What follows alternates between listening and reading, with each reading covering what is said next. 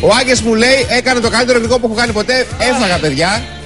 Όντως νομίζω ότι είναι το καλύτερο γλυκό που έχω φάει ποτέ και δεν είναι σοκολατένιο. Για το στέλνο πάνω. Είναι πρώτη φορά που θα του βάλω 10 με τόνο. Με διαφορά. με τόνο. Δηλαδή, παιδιά, υποκλίνομαι. Κάτστε ένας να δείτε Τρεις σήμερα. μήνες το παλεύω. Ναι, όχι, φίλε, να σου πω Σιγά. κάτι αντικειμενικά.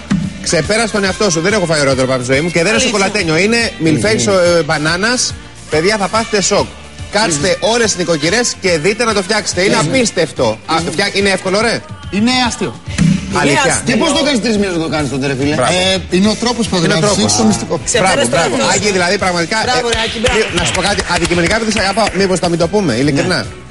Να το φυλάξεις για σένα. Α, δεν με πειράζει. Εγώ το λέω έτσι. Ναι. το πειράζει. Παιδιά είναι, είναι Ε, Το μοναδικό. έκανα και στο Google και δεν Λοιπόν. υπάρχει καν. Είναι παγκόσμιο. πάντων. πρωτοτυπία. Εντάξει, καταλαβαίνετε ότι πολύ αγάπη θα γίνω 300 κιλά εγώ στο τέλος του. Μέχρι δύο μήνες που μας παίρνουν για το τέλος της εκπομπής. Τέλος πάντων, σήμερα μαζί μας, παιδιά, ακούσα να δείτε τι θα γίνει. Θα είναι ο Γιάννης Λουκάκος. Ω,